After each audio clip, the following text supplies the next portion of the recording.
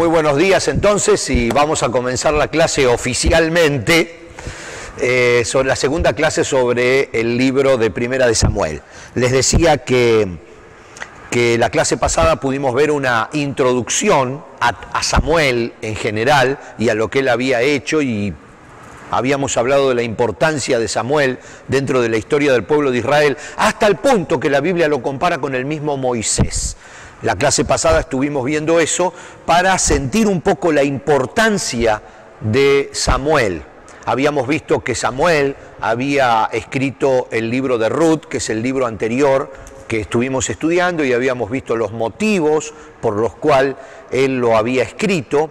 Y por supuesto habíamos dicho que una de las cosas más importantes de Samuel es que fue la persona que terminó con toda esa esa época oscura de los jueces, donde uh, el pueblo de Israel estaba dividido y los jueces trataban de sostener durante algunos años eh, la debilitada Israel que se había desparramado cada familia en su tierra y que Samuel de hecho había sido el último de los jueces porque él había dado comienzo a la monarquía a la monarquía con Saúl y después con David, después con Salomón, etc. Ya vamos a ir estudiándolo. Fue, también fue el primero de los profetas. Fue un hombre de Dios, una persona elegida, una persona seleccionada por Dios desde antes de su nacimiento. Y hoy vamos a ver algunas cositas de esa. Vamos a comenzar a estudiar Samuel desde chico, desde que nació. Pero ahora continuamos un poquito con un poco de, la, de lo que de lo que veníamos viendo la clase pasada acerca de la introducción general a Samuel, a Primera de Samuel, básicamente. Entonces, esta es nuestra segunda clase y la clase pasada la terminamos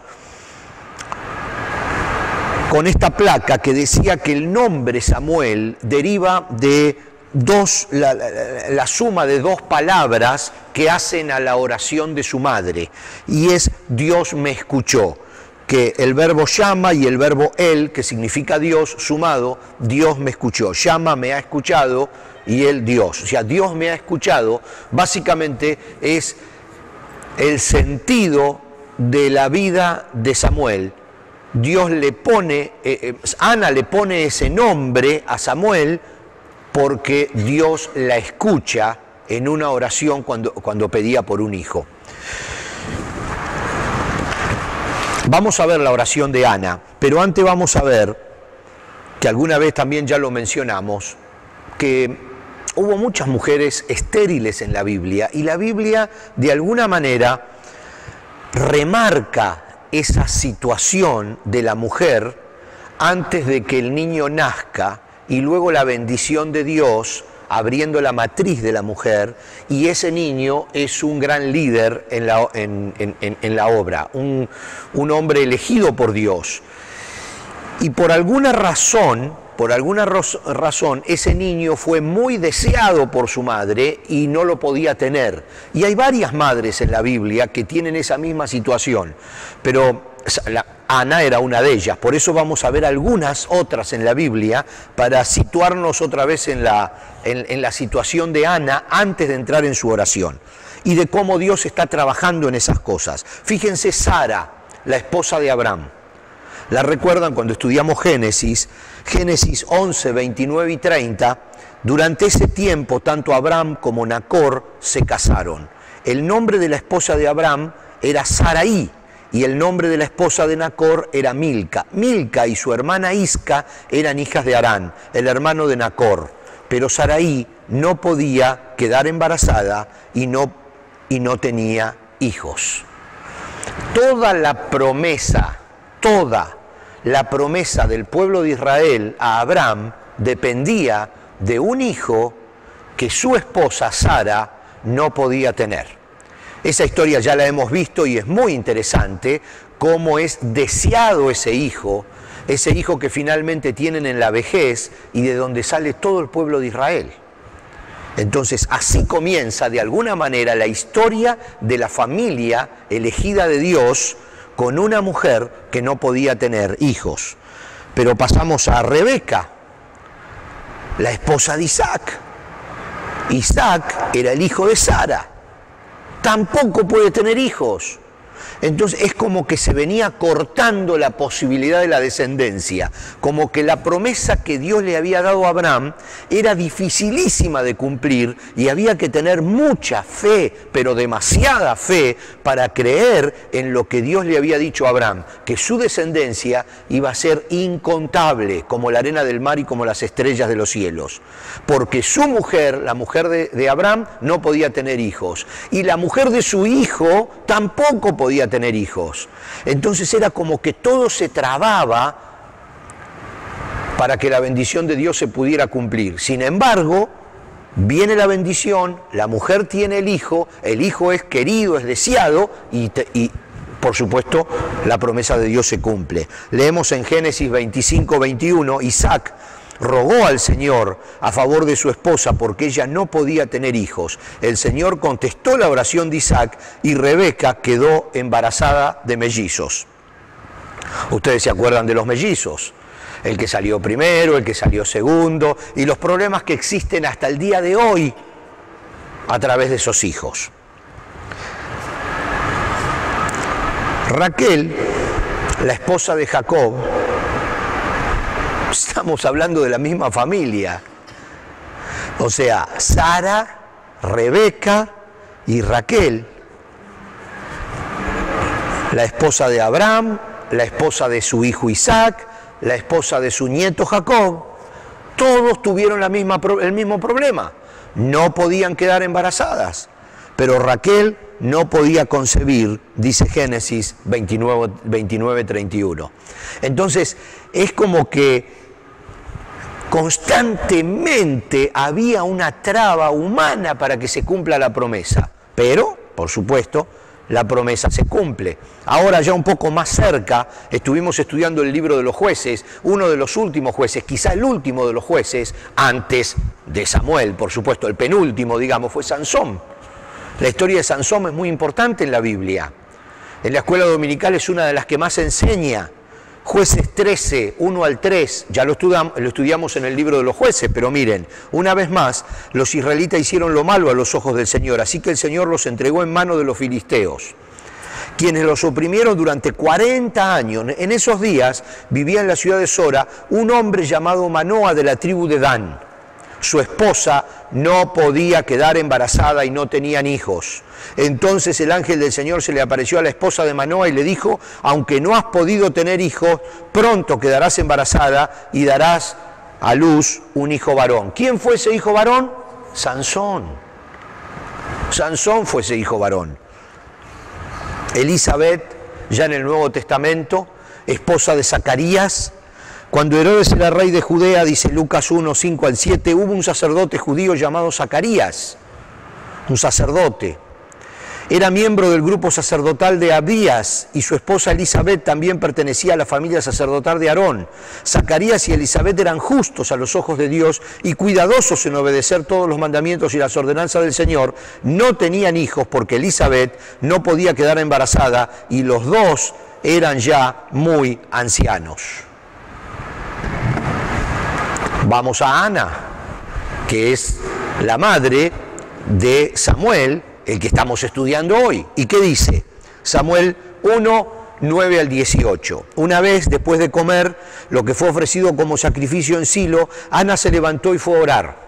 El sacerdote Elí estaba sentado en su lugar de costumbre junto a la entrada del tabernáculo. Ana, con una profunda angustia, lloraba amargamente mientras oraba al Señor e hizo el siguiente voto. Oh Señor de los ejércitos celestiales, si miras mi dolor y contestas mi oración y me das un hijo, entonces te lo devolveré. Él será tuyo durante toda su vida y como señal de que fue dedicado al Señor, nunca se le cortará el cabello. Así llegamos a Ana, otra de las mujeres en la Biblia que no podía quedar embarazada y que sufría pidiéndole a Dios un hijo y que cuando Dios le concede la bendición de un hijo, ese hijo es un grande en el pueblo del Señor. Entonces, es una línea, es una línea. a la tradición, la tradición judía, eh, porque esto es bastante evidente en toda la Biblia, estoy hablando de la tradición, no está en ningún lado, dice que Dios cerraba la matriz de las mujeres que él quería que se esfuercen en rogarle por un hijo, porque ese hijo iba a ser bendito a los ojos de Jehová. Tradición de los, de los, de los israelitas. ¿Por qué? Porque ellos mismos se dan cuenta que toda su, su línea viene de mujeres que no podían quedar embarazadas. O sea, el padre Abraham, el hijo Jacob y el nieto. Los tres tuvieron hijas que no podían quedar embarazadas, ¿sí? Abraham, Isaac y Jacob. Abraham, Isaac y Jacob. Los tres tuvieron esposas que no pudieron quedar embarazadas. Entonces, ahí es como que algo está sucediendo. Bueno, el punto es que Samuel tuvo mucha oración antes de que antes de nacer. Dice, continúa diciendo el pasaje, mientras Ana oraba eh, al Señor, Elí la observaba. Ya conocemos quién es Elí, ya conocemos que no era muy buena madera y después vamos a estudiarlo a fondo, pero dice que Elí la observaba y la veía mover los labios, pero como no oía ningún sonido, pensó que estaba ebria. Y le dijo, tienes que venir borracha, le reclamó, abandona el vino. Oh no, Señor, respondió ella, no he bebido vino ni nada más fuerte, pero como estoy muy desanimada, derramaba ante el Señor lo que hay en mi corazón. No piense que soy una mujer perversa, pues he estado orando debido a mi gran angustia y a mi profundo dolor. En ese caso, le dijo Elí, ve en paz, que el Dios de Israel te conceda lo que has pedido. Oh, muchas gracias, exclamó ella. Así que se fue, comenzó a comer de nuevo y ya no estuvo triste.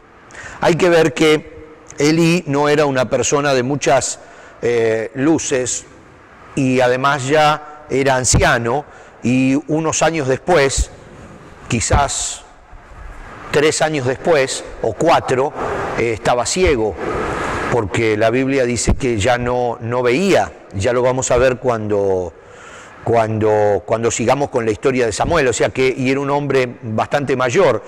Pero además de todo eso hay que tener en cuenta que las oraciones que se hacían en el templo eran en voz alta. La costumbre era orar en voz alta e incluso mover todo el cuerpo y orar en voz alta. De pronto el sacerdote ve a la esposa de un sacerdote, porque el Cana ya habíamos visto en la clase pasada que era levita y era sacerdote y por eso venían a Silo, porque Silo era la ciudad donde estaba el arca del pacto y era donde estaba el templo hasta que después se construyó el templo de Jerusalén, que lo construye David. Pero hasta ese momento allí venían los sacerdotes para ofrecer los sacrificios y entonces la esposa de un sacerdote estaba orando en el templo y movía los labios, pero no había sonido. Entonces eso era extraño, por eso él pensó que estaba borracha. Digamos que Elí estaba loco, pero no, tan loco, ¿no? Entonces había un motivo de tradición de cómo se oraba que Ana no lo estaba, no lo estaba cumpliendo y por eso le llamó la atención a Elí. El hijo de Ana y el Cana, su padre, definitivamente sería levita. Ya vimos en la clase pasada que él era de la familia de Leví. Era, el Cana era sacerdote. Sus hijos varones ya están consagrados al Señor. Estaban consagrados de nacimiento, no había que reconsagrarlos, ya estaban consagrados por familia. Y la edad del servicio, eh, cuando nosotros estudiamos, creo que esto está en Deuteronomio, creo que está en Deuteronomio, la edad del servicio levítico, la edad del servicio de un levita era entre los 25 años que comenzaba a servir y los 50 años que se jubilaba. ¿Se acuerda que hicimos una referencia que estaba bastante bien? 25 años de servicio y jubilación. Con 50 años ya digamos que el sacerdote tenía una vida útil, digamos, al servicio del templo bastante reducida, porque empezaba a los 25 años y terminaba a los 50, pero esa era la ley, así era la ley. Samuel, hijo del Cana y Ana, ya iba a ser, por ser varón, hijo de sacerdote, ya iba levita, ya iba, ya estaba dedicado al Señor. Sin embargo, Ana hace una dedicación extra y esto es lo importante que queremos rescatar hoy de la oración de Ana, hace una dedicación extra. Samuel sería nazareo. Ya vimos también esta palabra en otros libros que estudiamos, pero por supuesto lo vamos a repasar un poquito. Nazareo era una persona separada, consagrada a Dios, un hombre o una mujer puesto aparte, o sea, el concepto de santidad, separado para Dios. El nazareato era una institución hebrea, una institución probablemente muy, muy antigua, que recién la eh, reglamentó Moisés cuando en el monte Sinaí se escribieron los 613 reglamentos para el pueblo de Israel, además de los 10, o sea, los 603 más los 10 mandamientos. Entonces estamos hablando que recién ahí se reglamenta el nazareato y lo podemos ver en números 6, 1 al 8, que dice, entonces el Señor le dijo a Moisés, da al pueblo de Israel las siguientes instrucciones. Si alguien del pueblo, sea hombre o mujer, hace el voto especial de Nazareo, consagrándose al Señor de manera especial, dejará el vino y otras bebidas alcohólicas, no usará vinagre hecho de vino ni otras bebidas alcohólicas, no beberá jugo de uva fresca, ni comerá uvas o pasas, mientras esté obligado por su voto de nazareo. No se le permite comer o beber productos derivados de la vid, incluidas las semillas y la cáscara de la uva. Durante todo el tiempo que dure su voto, esta persona no se cortará el cabello, un detalle importante, porque es santa y apartada para el Señor. Se dejará crecer el cabello hasta que se cumpla el tiempo de su voto y no se acercará a ningún cadáver durante todo el tiempo de su voto al Señor, aun cuando la persona muerta sea su propio padre, madre, hermano o hermana. No debe contaminarse, porque el cabello que lleva sobre su cabeza es símbolo de su consagración a Dios. Este requisito se aplica mientras esté consagrado al Señor. Esa era la ley. Esa era la ley. El nazareo no se consagraba por toda su vida, sino por un tiempo determinado. Había un tiempo determinado donde estaba apartado para Dios. Y el concepto de los cabellos en el pueblo de Israel, del pelo largo, siempre fue muy significativo porque era el símbolo de poder y de vida abundante. Fíjense, segunda de Samuel, mucho más adelante, ya vamos a llegar, estamos solamente en el primero, pero segunda de Samuel, capítulo 14, dice Absalón, hijo de David, era elogiado como el hombre más apuesto de todo Israel. De pies a cabeza era perfecto se cortaba el cabello una vez al año y lo hacía solo porque era muy pesado. El peso de su cabello era de más de dos kilos. No estamos hablando aquí de que Absalón era nazareo, sino que se dejaba el pelo largo porque era un símbolo de, eh, eh, de poder y de viralidad y vitalidad. Y por lo contrario, cortarse el pelo era una señal de luto. Isaías 22:12 nos dice, en ese día el Señor, el Señor de los ejércitos celestiales, los llamó a llorar y a lamentarse y les dijo que se raparan la cabeza en señal de dolor por sus pecados y que usaran ropa de tela áspera para expresar su remordimiento. O sea que el concepto de raparse la cabeza era por luto, por dolor, por remordimiento. Y dejarse el pelo largo era todo lo contrario. Entonces había una costumbre también asociada al tema del nazareato, pero ciertos nazareos fueron muy famosos en toda la Biblia porque se dejaban el pelo largo. Fíjense, Sansón, que hablamos recién, jueces 13, 1 al 7, lo Leímos recién este pasaje, lo vamos a leer de nuevo, pero ahora vamos a leer lo que sigue, que es lo que nos interesa. Una vez más los israelitas hicieron lo malo a los ojos del Señor, esto es lo que leímos recién, así que el Señor los entregó en manos de los filisteos, quienes lo oprimieron durante 40 años. En esos días vivía en la ciudad de Sora un hombre llamado Manoa de la tribu de Dan, su esposa no podía quedar embarazada y no tenían hijos. Entonces el ángel del Señor se le apareció a la esposa de Manoa y le dijo, aunque no has podido tener hijos, pronto quedarás embarazada y darás a luz un hijo varón. Así que ten cuidado Esta parte no la habíamos leído. No debes beber vino ni ninguna otra bebida alcohólica, le dice el ángel a la mujer, ni comer ninguno de los alimentos prohibidos. Quedarás embarazada y darás a luz un hijo a quien jamás se le debe cortar el cabello, pues él será consagrado a Dios como nazareo desde su nacimiento. Aquí estamos hablando de otro tipo de consagración. La de Sansón era una consagración de toda la vida.